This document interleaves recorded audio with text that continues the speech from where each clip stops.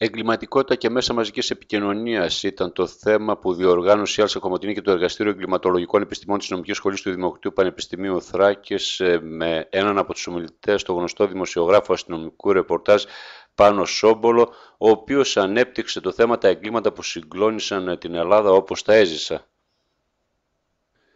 Συντονιστής της ημερίδας ήταν ο κύριος Θεοχάρης Δαλακούρας, καθηγητής ποινικού δικονομικού δικαίου της Νομικής Σχολής του Δημοκρατίου Πανεπιστημίου Θράκης. Θα διευθύνω μία συζήτηση η οποία από μόνη της είναι ιδιαίτερως ενδιαφέρουσα ακριβώς γιατί περιλαμβάνει δύο δράσεις. Η μία δράση είναι των φοιτητών της ΕΛΣΑ με το διαγωνισμό που έχουν ε, κάνει και τις εργασίες που θα παρουσιάσουν, που είναι εξαιρετική. Η άλλη δράση είναι η ανακαίνιση τέτοιων ε, θεμάτων, ανακίνηση και ανακαίνιση τέτοιων θεμάτων που έχουν ευρύτερη, ε, ευρύτερο ενδιαφέρον, μια ευρύτερη θεματική δηλαδή μέσα μαζικής ενημέρωσης και έγκλημα. Είναι σχέση επάλληλη, είναι σχέση που το ένα αποκρούει το άλλο, είναι μια σχέση που τη βιώνουμε στην καθημερινότητά μας με τον καταιγισμό ειδήσεων, είναι μια σχέση που παράγει το έγκλημα, που συγκαλύπτει το έγκλημα; Ή που το αναδεικνύει το έγκλημα και σε, σε πολλές περιπτώσεις το εξηχνιάζει κιόλα; Όλα αυτά τα σημαίνοντα ζητήματα του σύνθετου ρόλου μέσα μαζικής ενημέρωσης και δικαιοσύνη θα αναδειχθούν σήμερα. Τέτοιες εκδηλώσεις μακάρι να γίνονται και μακάρι να πληθαίνουν. Είναι μια αξιόλογη προσπάθεια των παιδιών εδώ της νομικής σχολής του Πανεπιστημίου Θράκης. Είναι επίσης μια πολύ καλή εκδήλωση αυτή που γίνεται σήμερα και να τιμηθούν αυτά τα παιδιά που έκαναν την ε, προσπάθεια και μακάρι να μιμηθούν και, άλλε, ε, και άλλες σχολές να κάνουν τα ίδια. Ε, πιστεύω ότι ε, πρέπει να ε, κυνηγάμε την έρευνα, όπως εμείς οι δημοσιογράφοι πρέπει να κυνηγάμε το ρεπορτάζ, έτσι και οι δικηγόροι, ή οι γιατροί, ή όποιοι να κυνηγάνε τις όποιες εξελίξεις. Εμείς να κυνηγάμε ε, το ρεπορτάζ και την είδηση όπου και αν βρίσκεται. Έχει αλλάξει αυτή η σχέση, ε, όμως εγκληματικότητα και μέσα ενημέρωσης είναι συνυφασμένα σε τι δηλαδή, στο ότι ε, ό,τι έγκλημα, ε, ε, δικαστική είδηση, πολιτική είδηση, καλλιτεχνική είδηση πρέπει να τη δουλέψει ο δημοσιογράφος και να την προβάλλει. Ένα γεγονός, το όποιο γεγονός, ε, γεγονός έχει ενδιαφέρον για το κοινό, ε, εμείς πάμε και την καλύπτουμε όλοι μας. Την καλύπτουμε την είδηση και φυσικά έχουμε υποχρέωση να την παρουσιάσουμε στο ευρύτερο κοινό. Αυτή είναι η δουλειά μας η δουλειά των δικηγόρων είναι μια άλλη. Η δουλειά του γιατρού, παραδείγματος χάρη, είναι μια άλλη. Ε, όλοι κάνουμε μια δουλειά, αλλά εμείς επιτελούμε και ένα λειτουργήμα.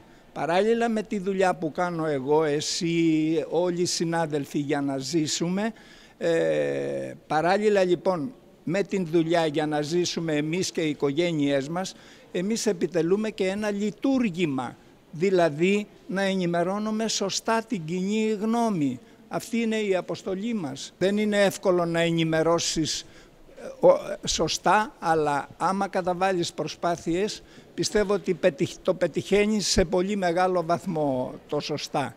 Εύκολο, άμα κυνηγάς την είδηση, δεν είναι τίποτε.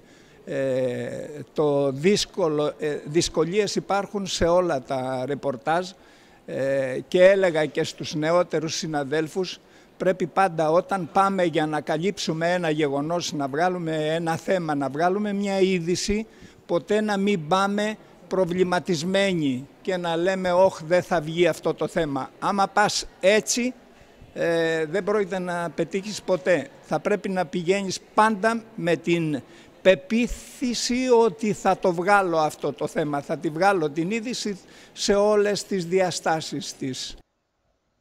Η δεύτερη ομιλήτρια της ημερίδας ήταν η κυρία Βασιλική Θεολόγη, ειδική επιστήμονα αστυνομική σχολή του Δημοκρατίου Πανεπιστημίου Θράκης, η οποία μίλησε για την εγκληματικότητα και τα μέσα μαζικής επικοινωνίας.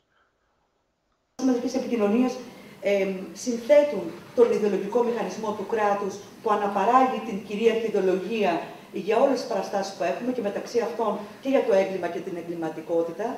Όπως ξέρουμε, η ιδεολογία αποτελεί κεντρική μορφή εξουσίας, όπως επισημαίνει μεταξύ άλλων και ο Φουκό, αυτό συμβαίνει και στη σύγχρονη νεωτερικότητα, το επισημαίνει χαρακτηριστικά ο Γκίλντελς και πώς αυτό αποτυπώνεται μέσα από την εξελικτική διαδικασία και ανάπτυξη των μέσων μαζικής επικοινωνίας.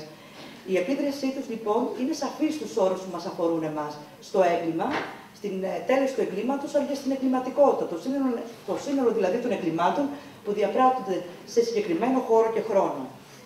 Τα μέσα μαζικής ενημέρωσης αποτυπώνουν, περιγράφουν την έγκλημα, μας δίνουν αυτή την ανιολόγηση. Όπως επίσης και τι αποτελεί παρεκκλίνουσα συμπεριφορά ή δευτερογελή παρέκκληση, ίσως μέσα της μέσω της διαδικασίας της ετικέτας, αφού στιγματίζουν, έρχονται να επικοινωνήσουν μια ετικέτα είτε στο φερόμενο ως δράστη ή σε αυτόν τον οποίο ε, έχει εκτίσει την ποινή του, έχει αποφυλακιστεί ε, και μπορούμε να δούμε ως χαρακτηριστικό παράδειγμα αυτό το οποίο ο καθηγητής μας προ, προλίγου ανέφερε ε, μέσα από την ε, υπόθεση του Γερμανικού Δικαστηρίου ακολούθησε παρουσίαση των εργασιών των φοιτητών νομικής που έλαβαν μέρος στο διαγωνισμό δοκιμίου της Έλσα Κομωτινή και βραβεύσεις. Η σημερινή εκδήλωση είναι το αποτέλεσμα ενός ε, διαγωνισμού δοκιμίου που διοργανώθηκε από την Έλσα Κομωτινή με θέμα εγκληματικότητα και ΜΜΕ. Παρότι είχαμε λίγο χρόνο στη διάθεσή μας, καταφέραμε να παράξουμε ένα, κατά τη γνώμη μας, αξιόλογο αποτέλεσμα. Ε, μας βοήθησε βέβαια πάρα πολύ η κυρία Βασιλική Θεολόγη, ε, ειδικός επιστήμονας ε, του Δημοκρατίου Πανεπιστημίου Θράκης και το ε, Εργαστήριο Εγκληματολογικών Επιστημών, το οποίο ευχαριστούμε πάρα πολύ. Στον τελικό έφτασαν πέντε δοκίμια, τα οποία θα παρουσιαστούν και σήμερα. Θέμη πρώτα, συγχαρητήρια και πάντα να προσπαθείτε και στον Χάρη. Συγχαρητήρια Χάρη. Και πάντα να προσπαθείτε να πετυχαίνετε μόνο αυτοί που προσπαθούν πετυχαίνουν.